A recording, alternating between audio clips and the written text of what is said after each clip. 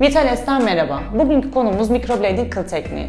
Kıl tekniği işlemi dövme tekniğinden farklı bir işlemdir. Yapmış olduğumuz işlem kişinin kendi kılların arasında kıl efekti verilerek yapılan çizimdir. Burada en önemli olan şey kişinin kendi kıllarından daha koyu bir boyayla çalışmamak. Eğer aynı e, boya rengiyle çalışırsak yaptığımız kaş uygulaması da daha doğal gözükmektedir. İşlemin kalıcılık süresi minimum 8 ay ile maksimum 1,5 yıl arasındadır. Bunun sebebi de eğer kişinin e, yağlı bir cildi varsa kalıcılık süresi kısalır, kuru bir cildi varsa daha uzun süre kullanabilir. İşlemden 3 gün sonra yüzümüzü yıkayabiliyoruz. İlk 3 gün su değdirmememiz gerekiyor kaşlarımıza. Bir hafta boyunca da nemlendirici kremler kullanarak kaşımızın kuru kalmamasını sağlıyoruz. İkinci işlemimiz işlemden bir ay sonra yapılmaktadır. Sizleri de microblading kıl tekniği işlemi için merkezimize bekliyoruz.